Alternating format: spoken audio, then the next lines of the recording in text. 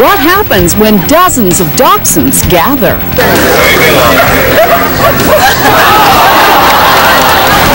Well, they may be small, but they're mighty.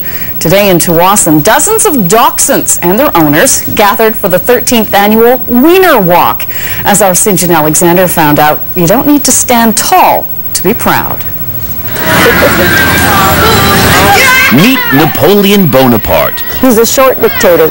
a demanding and fearless ruler with his own chariot. If I want to put on my roller skates and go skating, or if I want to have a jog or a run, this tracks very well, and then he can keep up with us.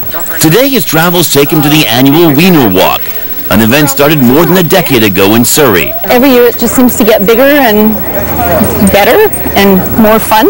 And fun is proving your best in show, Look at that long tail. That is a long tail. wowing your peers with tricks, I don't know if we're gonna be able to do anything. But... or not. Here, here. Okay, pay attention.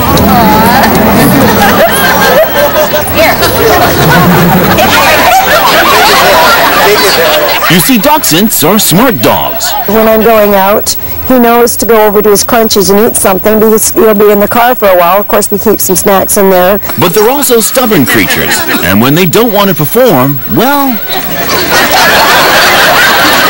There's too much people. Okay, everyone go home because there's too many people here.